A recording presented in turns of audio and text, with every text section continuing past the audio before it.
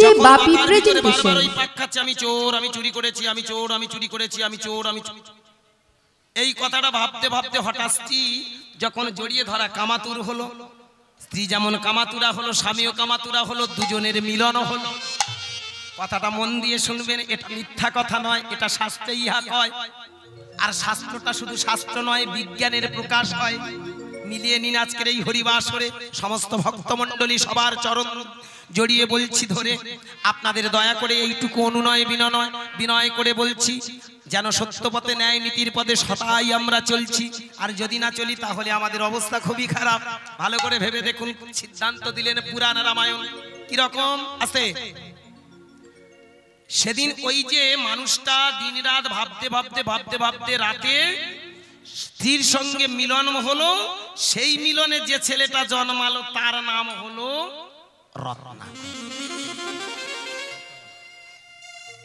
একটা কথা মনে রাখবেন, মিলনের দিনে যদি কোনো মানুষ খুব কাঁচা কথা, মিলনের সময় আগের দিন বা দিনে যদি মন প্রাণ ভগবানের চরণে নিমজ্জিত করে, ভগবানের চরণে ভক্তি দিয়ে যদি আমরা মেলামেশা করে সন্তান উৎপাদন করি, তবে সেই সেই সন্তানটা হয় প্রকৃত সাধু সন্তান। আর যদি আমাদের মনের কুপ্রবৃত্তি নিয়ে আমরা ছেলে পুলে জন্ম দিই ওটা হয়ে যাবে রাস্তার পাঁঠার সমান। রাগ করবেন না আমার কথাটা ভেবে দেখবেন। এটা আমাদের আজকের দিনে বিজ্ঞানীরা বলছে আসতে যে মেন্টালিটিটা তোমার ভিতরে এখন কাজ করছে সেই মেন্টালিটিটা তোমার ছেলের ভিতরে ঢুকবে। আমি বর্তমান যে মস্তিষ্ক নিয়ে আমার সংসারে আমি যা করছি, এই কর- কার্যগুলো কিন্তু আমার ছেলের ভিতরে আসবে। আসবে না বাবা? আমি যদি ভালো মানুষ হই, ভালো হবে। আমি যদি খারাপ মস্তিষ্কের মানুষ হই, আমার ছেলে পুলেরা খারাপ হবে। এটা স্বাভাবিক। তাই চৌর্য বৃত্তির কথা ভাবতে ভাবতে ওই একটু অন্যায়ের জন্যে যে ছেলেটার জন্ম হলো, তার নাম রত্নাকর। আজকে ভালো করে ভেবে দেখুন, আমরা যারা কীর্তনিয়ারা, এই টাকা পয়সাগুলো মাগো গান গেয়ে তিরিশ, চল্লিশ, পঞ্চাশ হাজার টাকা পার পালায় নিয়ে যাচ্ছি। রাষ্ট্রপতি এত টাকা মাইনে পায় না। কথা বলছি ভালো করে ভেবে দেখবেন? চার লাখ টাকা বা পাঁচ লাখ টাকা যদি কথা বলছি প্রধানমন্ত্রী বা রাষ্ট্রপতির মাইনে হয়, আঙ্গার কত মাইনে হচ্ছে? ক্যালকুলেশন করেছেন কোনোদিন? অত সময় কেন? আমরা হরিনাম শোনার দরকার শুনি আমাদের ঝেড়ে নিয়ে যাচ্ছেন আমরা ক্ষয় হয়ে যাচ্ছি, যাই। রাগ করবেন না, ভক্তমণ্ডলী পা দুটো জড়িয়ে ধরে ভেবে দেখবেন। এই সব মানুষগুলো আমরা যারা আমাদের মুখে হরিনাম শুনে পুণ্য কতটা হবে জানি না, তার থেকে ঝোড়া ঝোড়া মাল নিয়ে যাবে। আপনারা পাপের ভয়ে যদি করেন, তাহলে একবার ভেবে দেখবেন। এই সব মানুষের মুখে হরিনাম শোনার থেকে আমার মনে হয় চেষ্টা করবেন হরিবাসরে বসে একটু হরিনাম করে সবাই মিলে একাগ্রতার সঙ্গে হরে কৃষ্ণ নাম করুন, মহামন্ত্র জপ করুন। আর পারলে আমি দুপুর বেলায় এসেছি, রাগ করবেন না। আমি যখন ঢুকেছি, তখন বাজে তিনটে বাজতে দশ মিনিট বাকি। আমি জানি চারটে গান দেবো আমাকে ফোন করেছে। কিন্তু তারপরে শুনলাম যে না চারটে না ওটা সাড়ে চারটে হবে। ভালো কথা এটা হয়ে থাকে আধ ঘণ্টা। এসে দেখি সব আসন পাতা আছে। আর সব বুড়ো বুড়ি গুলো গোমা আর কচি কাঁচা এইরকম খিচ খাচগুলো সব বসে কি হারে খাচ্ছিল ডাল। তার মধ্যে এই মেয়েটা ছিল। এই না তুই নয় রে আমি ভুল বলতেছি। তোর মুখটার মতো একটা মেয়ে ছিল। তুই যেন রাগ করিস নি বলেছি তা কি হয়েছে? তুই আগ করিস নি হরি বল হরি বল। হ্যাঁ বাবা, ভালো করে ভেবে দেখবেন। ওইখানে যে সেবার ব্যবস্থা হয়েছিল, আমি মনে করব ওটাই হলো সব থেকে সেবা সব থেকেই পুণ্য বাবা। আপনাদের অনেক রক্ত, ঝরা পয়সা। আপনাদের যা চেতনা দিতে আমার এইটুকু অনুরোধ, আপনারা চেষ্টা করবেন, আজকের দিনে যারা সমাজটাকে শেষ করে দিচ্ছে, সেই দিকটা না দেখে আপনারা চেষ্টা করুন এই হরিবাসর কিসে বেঁচে থাকবে, তথা প্রত্যেকটা মানুষ কিসে সুখে থাকবে। যারা সমাজ সচেতনতার কথা ভাবে, তারাই হলো প্রকৃত সাধু। তাই আজকে পা দুটো জড়িয়ে ধরে বলব আসতে। ভক্তিমতী মায়েরা, চৈতন্য মহাপ্রভু যে হরিনামটা দিয়েছিল, আমরা সেই হরিনাম আর করি না। করি বাবা। চৈতন্য মহাপ্রভু হরিনাম দিয়েছিল কেন? আসতে। মানুষের ভিতরে সচেতনতার জন্য। আজকে দিনে যে এবার কথাগুলো আমি যে ভেঙে ভেঙে এসেছি, সেই জায়গায় ফিরে যাই। এখন সেই মোটা সাধুর গল্প হচ্ছিল আমার বাড়ির পাশে। কি? তাই তো? এখন সেই যে সাধুটা ওমা আসতে, সেই সাধুটা এখন এসেছে। সাধুটা এসে দেখি ওই হরিবাসরে একটা মানে একটা ভাগবত পাঠ করছে, আর একটা হরিবাসর মতো তৈরি হয়েছে, সেইখানে বসে বসে উনি গল্প করছে। সেদিন আমার গান ছিল না, তাই বলি, দেখে একটু শুনে আসি। দেখুন বাবা, পৃথিবীতে যাবত আছি তাবৎ শিখি। আর আমরা পৃথিবীতে কেউ কিচ্ছু শিখিনি, কেউ কিচ্ছু জানি না। অনেক কীর্তনিয়ারা হরিবাসনে দাঁড়িয়ে বড় বড় বুলি আউড়িয়ে বলে, অমুকের বাবার নাম, তমুকের বাবার নাম। বলতে পারলে দশ লাখ টাকা, বিশ লাখ টাকা দেবো। আমি বলি, এগুলো ফার্স্ট ক্লাস মূর্খের কথা বাবা। তুমি চারটে এর বাবার নাম তার বাবার নাম শিখেছো কিন্তু তুমি কি জানো? এই হরিবাসনে যারা বসে আছে এরা পণ্ডিত মহল। একদম ঠিক। আজকের একত্রিশ বছর কীর্তন জগৎ। আমার অভিজ্ঞতা দিয়ে বলি আমি গোপাল বাবুর কাছে যখন তর্জার কৌশলগুলো শিখতে গেলাম কবি গানের ঢপটা একটু শিখতে গেলাম বলি যাই একটু কীর্তন হ্যাঁ কীর্তনের মাঝে মাঝে ওনার জিনিসগুলো দিলে ভালো লাগবে আস্তে। তা উনি আমায় একটা দামি কথা বলল যে দেখো বাবা তুমি আমার কাছে এসেছ কিন্তু স্বাস্থ্য সম্বন্ধে আমি কিচ্ছু জানি না। তখনকার দিনে ভালো করে দেবে ভেবে দেখুন, যারা খুব বয়োজ্যেষ্ঠ মানুষ, আমার গুরুজির মুখে আপনারা তর্জা গান শুনেছেন। কি? আস্তে। চলে আসুন, সব ভিতরে চলে আসুন। সন্ধ্যে সাঁজ দেওয়া হয়ে গেছে, আপনি এইবার চলে আসুন, আর এইবার আমি বাড়ি চলে যাব। চলে আসুন। না না, এখন নয় বাবা। আমি প্রফেশনাল কীর্তনিয়া নই বাবা। আমি এখানে এসেছি যখন আমার টাইমটা আমি অন্তত আরও দশ মিনিট, পনেরো মিনিট দিয়ে বেশি করে গিয়ে যাব। কারণ আমি এই কথাগুলো আলোচনা যখন করছি মেন তো আলোচনার বাইরে আছি এখন। হ্যাঁ? আস্তে। আমি কাউন্সিলের দল। অসুবিধা কিছু নেই। সারাক্ষণ আছি আমি। জয় রাধে, আস্তে। একটু আস্তে, মা, নীরবতা পালন করবেন। হ্যাঁ তা ভালো করে ভেবে দেখুন, আস্তে। এখন সেই যে সাধু বাবা উনি নাকি আবার এসেছেন, কটা এসেছে বৃন্দাবন থেকে, কটা এসেছে নবদ্বীপ থেকে। বেশ কেড়ে কেড়ে লোকগুলো বসেছে, সব আলোচনা হচ্ছে। ওদের ভিতর থেকে একটা নবদ্বীপের লোক, আসতে, নবদ্বীপ, না, নবদ্বীপে নবদ্বীপ। কি? অন্ত সীমান্ত মধ্য গোদ্রুম কৌল ঋতু জন্য মদদ্রুম আর রুদ্র। এটাই হলো নবদ্বীপ, নটা দ্বীপ। কি বাবা, তাই না? ওখানে যায় কেন মানুষ? ওখানে গেলে আস্তে আস্তে আমাদের নবদা ভক্তি জন্ম হয়। শ্রবণ, কীর্তন স্মরণ পদ সেবন বন্দন, অর্চন আত্মা নিবেদন, এই হলো নবদা ভক্তি। যার ভিতরে আসে ভক্তি, সে পায় অনেক শক্তি। এই, কথা কম বল, তা না হলে ধরে নিয়ে সবার পাদাবো গন্ডগোল। কি ভেবেছিস? এখন মেয়েদের বাজার কীরকম জানিস? মেয়ে ছেলেদের গান শেখালে কি হয়? চুপ আমার শোনার চাঁদ সব গান শেখাবো। ঠাকুর, কথা বলতে নেই। শোন শোন একটু মন দিয়ে শোন। এখন বিষয়টা এরকম হরে কৃষ্ণ। এখন বিষয়টা এখন সেই গোসাই দেখি না আমি গানে যাইনি আমি সেদিন বলে একটু শুনি। তা গোসাইয়ের আলোচনা পর্ব শুনছি। আলোচনা শুনতে শুনতে উনি একটা দামি দামি কথা আলোচনা করছে। রাগ করবেন এগুলো আপনাদের মাঝখানে আমরা কীর্তনিয়ারাও বলি। কারণ যার যেমন মস্তিষ্ক সে তেমন পেয়েছে যার যেমন ভাবধারা সে তেমন পেয়েছে যে যেমন থটের মানুষ সে তেমন টুকু খুঁজেছে। আজকের হরিবাসরে দাঁড়িয়ে একটা কথা বলে যাই বাবা যার যন্ত্রে যতটুকু ধরা পড়েছে সে ততটুকু বুঝবে। এমন অনেক মানুষ আছে, বাইরে শুধু সেজেছে, সে কিন্তু ভেতরে কোনোদিন সাজেনি। তাহলে সে ভেতরের খবর বলবে কি করে? কি? যাই, এখানকার তথাকথিত আজকের কিছু ম্যাক্সিমাম সাধু সন্ন্যাসী থেকে শুরু করে আমরা কীর্তনিয়ারা কি বলি? যদি তুমি হরিনাম করো, তাহলে তোমার ঠাই হবে স্বর্গে। আর যদি তুমি হরিনাম না করো, তাহলে তোমার ঠাই হবে নরক কি বলে না? আস্তে। কীর্তনিয়া থেকে শুরু করে সাধু সন্তরা বলছে, যারা হরিনাম করে না, তারা মরে গেলে নরকে যায় আর যারা হরিনাম করে, তারা স্বর্গে যায় আমি কথাটা খুব মেনে নিতে পারলাম না যাক নেক্সট কথাটা, ওনার সাধুর মুখের এবার কথা। যারা, যাদের দীক্ষা হয়নি, তাদের দেহ পশুর তুল্য। সে যদি কাউকে কাউকে যদি অন্ন খেতে দেয়, সেটা হয় বিষটা তুল্য। আর যদি কাউকে জল দেয়, সেটা নাকি মূত্র তুল্য। ভালো করে ভাবো। এই কথাগুলো আমরা শুনি কিন্তু কোনোদিন ভালো করে ভেবে দেখি না কতটা যথাযথ যুক্তি আছে। এটা যুক্তির কথা না অযুক্তির কথা? মরে গেলে স্বর্গে যায়? আচ্ছা স্বর্গ কোন দিকে গো? আমি গোসাই ঠাকুরের সেদিন জিজ্ঞাসা করলাম, বাবা, পায়ে পড়ি। আমি ওনার কাছে গেছি, আমার মালাটা দেখে বলে হ্যাঁ ঠাকুর, হরে কৃষ্ণ, বাবা ঠাকুর তোমার খুব ভালো। গলায় মালা আছে মানে মালাটা দেখে বুঝতে পেরেছে, আমার স্বজাতি। গরুই গরুই যেমন কাছাকাছি আসলে চাটাচাটি হয়, তেমন ভালো করে ভেবে দেখুন, মালাটা দেখে সঙ্গে সঙ্গে বলে, হরে কৃষ্ণ বাবা, খুব ভালো লাগল তুমি এই মালা গলায় দিয়েছ। আমি বাবা, গলায় দিয়েছি, একটা কারণে ঝাড়বো বলে। পরিষ্কার কথা কি? এই যে মাল কটা দেখছেন মাগো মাইর মা মাইর মা, এ যা রেখেছি সব ঝাড়ার ধান্দা। নামে আমরা মালা, মালার কোনো কাজ করি না, শুধু গলায় ঝুলিয়ে কাড়ি করেছি। আস্তে, তা উনি বলছে, বলে মানে তুমি কি করো বাবা? আমি বলি, লোকে ঝাড়ি। বলে, ইয়ার কি ঠাট্টা নয়? তামাশা নয়? কি করো? আমি বলি, বাবা, একটু গান বাজনা করা হয়। তা গান মানে মানে ঝেড়া নয়, বলুন বলুন? শুধু ব্যাগটা কাঁধে করে নিয়ে এসে হাজার হাজার টাকা নিয়ে যাচ্ছে। এটা ঝাড়া নয়, কোন ঝাড়া? গোসাই আমার রেগে গিয়ে বলে, তুমি তো আচ্ছা কলের লোক। আরে হরিনাম করছ, টাকা নিচ্ছ? মানে টাকা তো নিচ্ছি, কিন্তু কত টাকা নিচ্ছে একবার ভেবে দেখেছেন? হুম?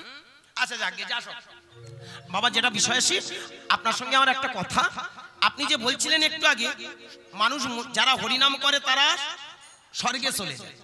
যারা হরিনাম করে না, তারা নরকে যায়। আমার এখানে যেসব বাবা মায়েরা আছেন তথা এই পৃথিবীর প্রত্যেকটা জীব। আজকের আমরা শুধু যে হরিনাম করি তা নয় বাবা, এই পৃথিবীর সমস্ত জাতি তথা পশু, পাখি, তরুলতা বৃক্ষগুলোবাদী সবাই কিন্তু হরিনাম করে। করে না বাবা? যদি বলেন বাবা, সেটা কি করে হয়? এই দেখুন। আমরা তো মনুষ্য জীব আমরা তো সবাইয়ের কাছে হরিনাম পৌঁছে দিতে পারি। কিন্তু ওরাও অজান্তে হরিনাম করছে। প্রকৃতি বলছে, তুমি নাই বা করলে, কিন্তু আমি তোমাকে করিয়ে নেব কীরকম কায়দায়? ধরুন কোনো মানুষ আসতে মিলিয়ে নিয়ে, কোনো মানুষ কোনো কালে হরি সবাই আসে না, কোনো মন্দিরে যায় না, কোনো ঠাকুর দেবতার মানে না, কোনো কিছু করে না। সাপোজ এইরকম একটা কথা ভাবুন, সেই লোকটা, সে কি হরিনাম করছে না? কীরকম কায়দায়? প্রকৃতি বলছে, কি কায়দায় করাচ্ছি দেখো যেদিন ও জন্মেছিল। সেদিন ও কিন্তু একটা হরিনাম করতে করতে জন্মেছিল। কি করেনি? একটা মানুষ যেদিন জন্মায়, সেদিন একটা মন্ত্র জপ করে করে জন্মায়। সেটা কি মন্ত্র? পৃথিবীর আদি মন্ত্র। ও। কি একটা বাচ্চা জন্মাচ্ছে, সে কাঁদছে না? কি করে কাঁদছে? ওয়া ওয়া ওয়া ওয়া। স্রষ্টা বলছে, ভালো করে ভেবে দেখো তো, ও যে শব্দটা করছে, ওটাই তো মন্ত্র। কি বাবা? পৃথিবীর যত, আপনারা যারা শাস্ত্রজ্ঞ মানুষ, শুনে নিন এবং শুনে রাখুন, যতগুলো মন্ত্র আছে, শ্রেষ্ঠ মন্ত্র হলো ঔ ওঙ্কার ধ্বনির উপরে কোনো মন্ত্র নেই। কোন দেব দেবতাকে ডাকবেন, সেই দেবতার ডাকার আগে আপনাকে ওঙ্কার জপ করতে হবে। যেমন আপনি সরস্বতীকে ডাকবেন, ওং সরস্বতায় চরণায় আপনি দুর্গাকে ডাকবেন, ওং দুর্গায় শ্রীচরণায় নম। আপনি সূর্যদেবকে ডাকবেন। ওং জবা কুসুম শঙ্কাশন কাশ্যপ্যং মহাদুতিম ধান্তরিং সর্ব পাপগ্নম প্রণতস্মি দিবাকরম। ভালো করে ভাবুন, আপনি শনি দেবতার পূজা করবেন। ওং রিং ওং সিং শনিশ্চরায় নম। তাহলে কি দাঁড়াল? ওংটা বাদ দিয়ে কিন্তু কোনো মন্ত্র হয় না। আমরা যে কৃষ্ণ বলি, ভালো করে ভাবুন। আমি আপনাদেরকে একটা অন্য জগৎ দেখাতে চাই। এতদিন আপনারা হরিনাম শুনেছেন, এতদিন আপনারা হরিনাম করেছেন, আমার কীর্তনটা মন দিয়ে শুনবেন। পালা পালা করে আপনারা অনেক ঝালাপালা খান। আমি বলব, এমন একটা জিনিস আপনাদের চরণে দিয়ে যাব, যেটা আপনারা যদি করতে পারেন, তাহলে জানবেন হরিনামের আসল রস কোথায়। আজকের আপনারা আমার মুখে শুনবেন, কালকের বাড়িতে বসে বসে ঠান্ডা মাথায় আমার কথাগুলো ভাববেন। ভালো করে মন দিয়ে শুনুন। কৃষ্ণ, আমরা বলছি না কৃষ্ণ কৃষ্ণ ওখানে একটা ওঙ্কার। রাম। কালমেঘ পাতা বাচ্চাদের খাওয়াবেন একদিন খাবে, দুদিন খাবে, তিন দিনের দিন ভোরের বেলা খুঁজে পাবেন। বিছানা থেকে উঠে মাল ও জানে যে বাবা মা মা জোর করে আমায় কালমেঘ পাতা খাওয়া এইবার আমার মায়েরা কি করেন? বলে, দাঁড়া, তুই ছুটে পালাচ্ছিস, তোর কল করে দিচ্ছি। গোটা কতক পাড়া থেকে কালমেঘ পাতা তুলে এনে বড়ি করে নেয়। কি বাবা? কথাটা এক্সামটা ভালো করে মন দিয়ে শুনুন। গোটা কতক বড়ি করে নিয়ে ছেলে ছিলে থেতে ভালো করে বড়ি করে রোদ্দুরে শুকিয়ে বলে এই পালাচ্ছিস? তোর আর কালমেঘ পাতা খাওয়াবো না। এই না একটা বড়ি নিয়ে গালেন আমার সোনার চাঁদ, মানিক আমার দেখবি তো একটু লাগবে না। ছেলেটা আস্তে আস্তে জল দিয়ে গিলে নে। জল দিল ভালো করে ভেবে দেখুন, হাতে নিল, গালে ফেলে জল দিল, ঢোক দিলে, চলে গেল। ভালো করে ভেবে দেখবেন, যেটা কালমেঘ পাতা চিবিয়ে যেটা উন্নতি হতো, যা হতো, ঠিক তেমন শুকনো খাওয়ার পরে সেটা এক ঠিক তেমন। বেদের যুগে যাদেরকে আমরা বলছি মহামানব, যাদেরকে মুনি ঋষি সত্যদ্রষ্টা বলছি, তারা ওই সাউন্ড এনার্জি শব্দ ব্রহ্ম প্রণব মন্ত্র, ওঙ্কার ধ্বনিটা সৃষ্টি করল। যে এই পৃথিবীতে মানুষের ভিতরে চেতনা আসার জন্য তথা বিশ্ব প্রকৃতির সব রূপ, রস, গন্ধ, স্পর্শ অনুভব করার একটাই মাত্র মন্ত্র ও এই ওঙ্কারটা তারা ওং ওং জপ করেছে। যেমন পঞ্চমুখে ব্রহ্মা, আহা, চতুর্মুখে ব্রহ্মা। ব্রহ্মারও পাঁচটা মাথা ছিল। কি? আস্তে। ব্রহ্মার পাঁচটা মাথা ছিল তো? নাকি? পঞ্চাননের পাঁচটা ব্রহ্মারও পাঁচটা ছিল। ওর একটা মাথা কাটা গেল। কাটাটা কোথায় গেল? আবার বললে, আবার তত্ত্ব বেরিয়ে যায়। মানে পুরাণের কথায় চলে যায়। জায়গাটি ছোট করে বলে আসি। শুনে রাখুন, ব্রহ্মারও পাঁচটা মাথা ছিল। ব্রহ্মা ওই পাঁচ মাথা নিয়ে হরিনাম করত। একদিন ভোলানাথ ওই রাস্তা দিয়ে, উনি একটু শ্মশানে মশানে ঘুরে বেড়ায়। ওই রাস্তা দিয়ে সুরসুর করে যাচ্ছে। ঠিক এমতো সময় একটা মাথা, চোখ দুটো খুলে গেল। একটা মাথার দুটো মুখ। আমাদের এই যে মাথাটা যেতে দুটো দুটো চোখ আসতো। আর মুখ ভালো করে ভেবে দেখ, এ দুটো দাঁড় কিন্তু। এই যে চোখ দুটো দিয়ে হঠাৎ দেখতে পেল, ওই মুখ দিয়ে হরিনাম করছিল, হঠাৎ দেখছি মা ছাই বর্ষ মাগালো টোলে টোলে ঢোলে ঢোলে যাচ্ছে। এখন এই দেখতে পেয়ে হঠাৎ সেই ব্রহ্মার সেই মুখটা বলতে শুরু করল দেখো না, একে নাকি বলে সবাই, এ নাকি সব থেকে বড় ভক্ত। কোথায় শ্মশানে মশানে শুয়ে থাকে আদা বাদা শুয়ে থাকে, সেই লোকটা নাকি সাধু। ভোলানাথ জানতে পেরে বলে, কিরে, তুই আমাকে দেখে নিন্দা নিন্দা বিদ্রুপ করছিস? এত বড় ক্ষমতা তোর হ্যাঁ? জানিস আমি কে? আরে তুই কে হে রে? হ্যাঁ? ওই মুখটা দিয়ে হঠাৎ আমার সেই হ্যাঁ? ভোলানাথের কুকৃতি বর্ণনা করল। ওরে, যে শ্মশানে ঘুরে বেড়ায়, সে আবার সাধু হবে কিসে? যে ঠাই বর্ষ মেয়েকে বেড়ায়, সে আবার মহান হবে কিসে? বুড়ো ভোলানাথ এইবার রেগে গিয়ে বলে দাঁড়ারে তুই আমায় নিন্দা বিদ্রুপ করা। সঙ্গে সঙ্গে হাতে ছিল ত্রিশূল খ্যাপ যেই মুন্ডটা কেটে দিয়েছে ব্রহ্মার, ওই মুন্ডটা এসে ভোলানাথের পিঠে লেগে গেল। ভোলানাথ বলে, যা। এখন মুড়োটা কাটতে গিয়ে মুড়োটা তো হিতে বিপরীত হয়ে গেল, আমার পিঠে লেগে গেল। এ পিঠে যখন লেগে গেছে, এখন কি করব? কোথায় যাই? আমার বুড়ো ভোলানাথ ঘুরে ঘুরে, মুড়ো আর ছাড়ে না। অবশেষে ঘুরে ঘুরে ঘুরে ঘুরে কাশির দশার সমেত ঘাটে গেল।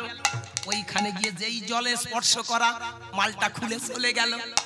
এই জন্য ভালো করে ভেবে দেখবেন, কাশীর বিশ্বেশ্বরের দশার সমেত যে ঘাট আছে ওই ঘাটে যদি কেউ স্নান করে ব্রহ্মহত্যা পাপ তার ধ্বংস হয়ে যায় ওই জন্য ব্রহ্মার পঞ্চমুখটা ওইখানে পড়ে রয় এটা শাস্ত্রের বিচার কয় ইহা মিথ্যা নয় এটা আমাদের পুরাণেতে পাই হ্যাঁ? শাস্ত্রে ইয়া আমরা দেখতে পাই তাই হরি বল হরি। আস্তে যাই হোক আমা এখন ভালো করে ভেবে দেখুন বিষয়টা যেটা আলোচনা তাহলে লক্ষ্য করে দেখুন তখনকার মুনি মানবরা তথা আমাদের ভোলানাথ, তথা ব্রহ্মা ওই ওঙ্কার মন্ত্র জপ করেছে।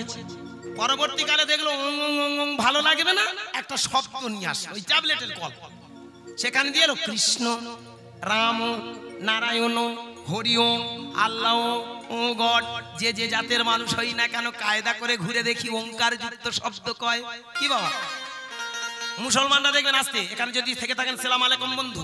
কাছাকাছি মাইকের মাধ্যমে যদি খুঁজে পান দেখবেন সেখানে ওরাও কিন্তু ওঙ্কার জপ করছে করছে না? আল্লাহ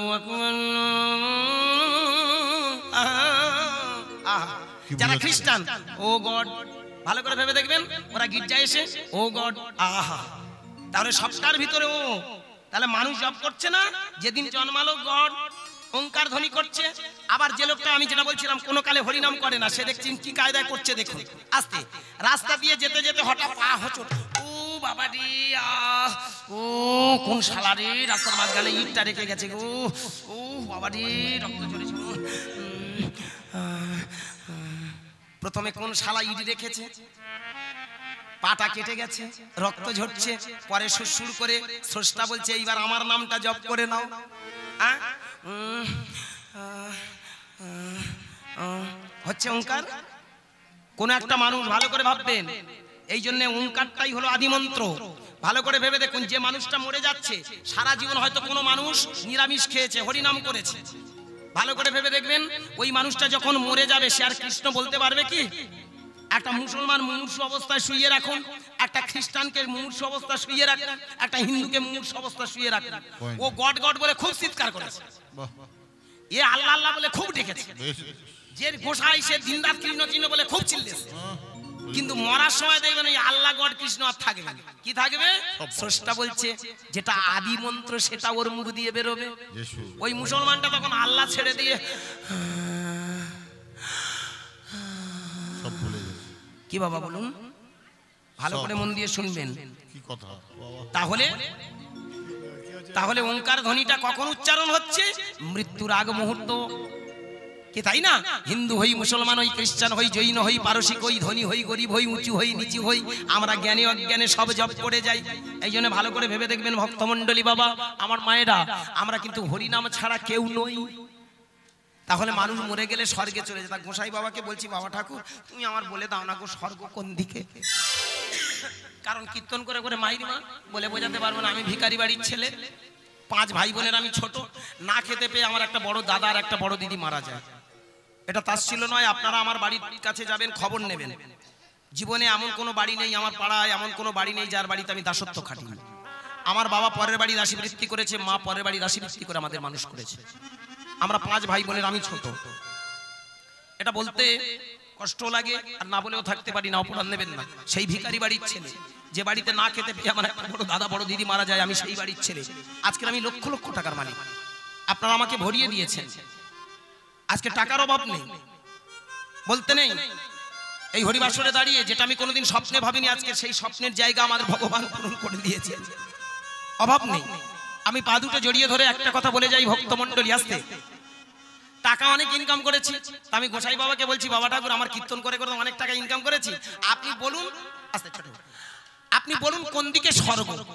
আপনি ঠিকানা দেন বা আপনি পারফেক্ট একটা মেনশন করে দেন যে এই দিকে গেলে স্বর্গ। আমি দমদম বিমানবন্দর থেকে একটা এরোপ্লেন ভাড়া করে নেব সেই দিকে চলে যাব। একদম ঠিক। স্বর্গ যখন আছে আমি দেখে ছাড়ব। কি? মানুষ মরে গেলে স্বর্গ আমি একবার দেখে আসব স্বর্গটা কি রকম কি হরি। আমার দিকে তাকিয়ে তাকিয়ে বলে তুমি তো শালা নাস্তিক। জানেন?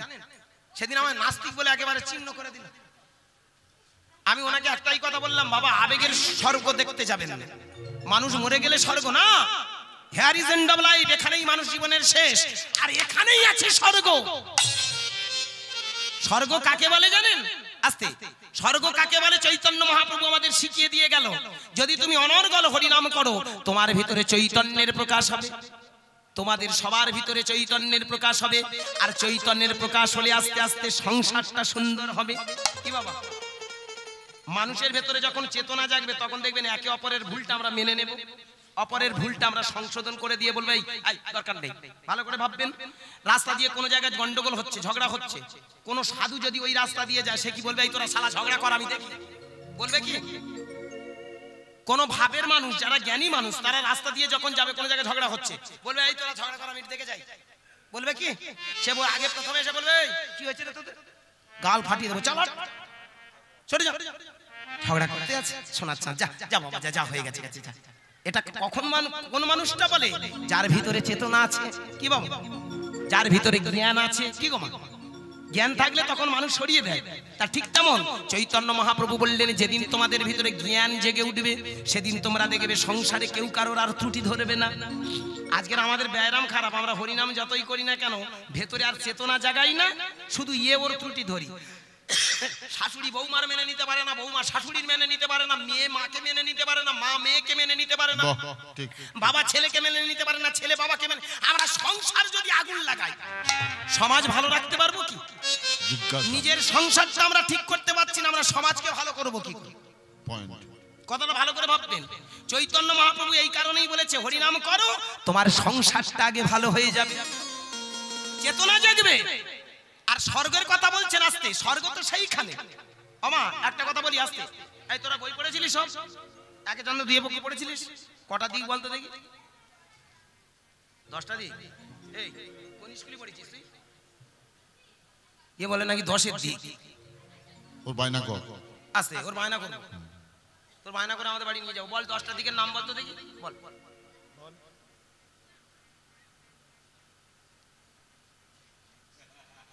একটু গুলিয়ে যাচ্ছে।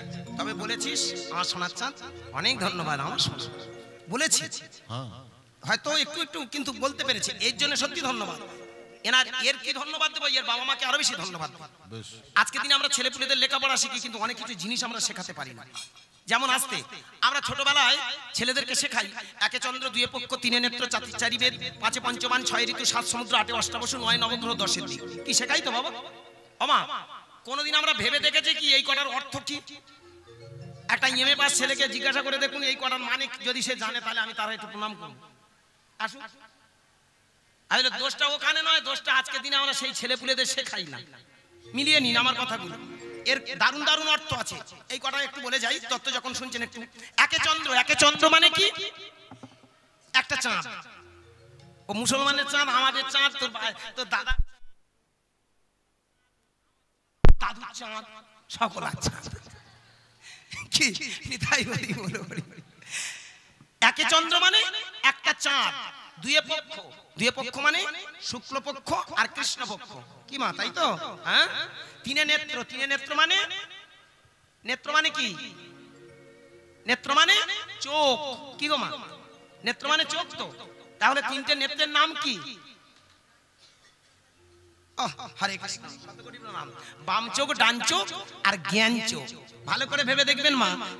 সিঁদুর ওখানে কিন্তু একটা বড় চোখ আছে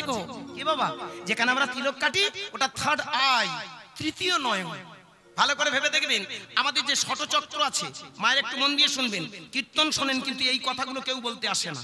আর এই কথাগুলো যদি না শোনা থাকে, কীর্তন শুনে লাভ নেই। কারণ হরিনাম আমরা ওপরে ওপরে শুনি, কোনোদিন ভেতরের আসল তত্ত্বটা বুঝি না। ভিতটা যদি তৈরি না হয়, ঘরটা থাকবে না। আমরা ভিত তৈরি করিনি বলে ঘর থাকে আজকের হরিনামটা আমরা কাজের জায়গাটা কেউ গুছোতে পারি না। মন দিয়ে শুনবেন। ভালো করে ভেবে দেখবেন। পায়খানার আড়াই অঙ্গুলি উপরে একটা চক্র আছে, ওর নাম মূলাধার। কি বাবা? যেখানে প্রস্রাব করি, এখানে একটা চক্র আছে। ওর নাম হলো স্বাধিষ্ঠান। যারা ডেপদের কথা ভাবেন, যারা এই তিলক তিলক কেটে বসে আছেন, আমার কথাটা মিলিয়ে নিন। যেখানে আমাদের নাভি কমল, এখানে একটা চক্র আছে যার নাম মণিপুর। যেখানে বক্ষস্থল, এখানে একটা চক্র আছে যার নাম হলো অনাহত। যেখানে কণ্ঠস্থল, এখানে একটা চক্র আছে যার নাম হলো বিশুদ্ধ।